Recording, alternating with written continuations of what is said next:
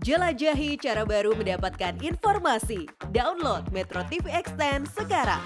Pemirsa upaya untuk menemukan titik terang terjadinya kecelakaan antara kereta api berantas dengan truk pengangkut alat berat di Semarang, Jawa Tengah hingga kini masih terus dilakukan.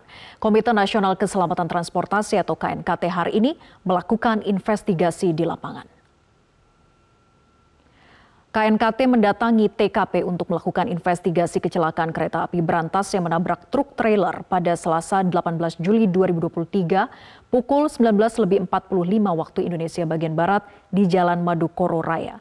KNKT sebelumnya juga telah mengumpulkan beberapa temuan awal dari kecelakaan. Di antaranya identifikasi jenis truk terkait kontur jalan yang meninggi diduga menjadi salah satu faktor terjadinya kecelakaan serta melihat CCTV di TKP. Didapati roda belakang truk berputar diduga tersangkut.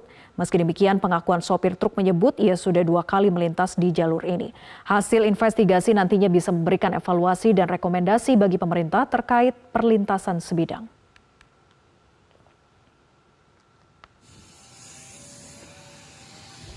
Saya minta pergerakan kereta kapan mulai dapat berita adanya apa eh, trailer yang nyangkut, kemudian kecepatannya pada saat menerima berita berapa, jaraknya berapa, lengkungnya berapa dan sebagainya.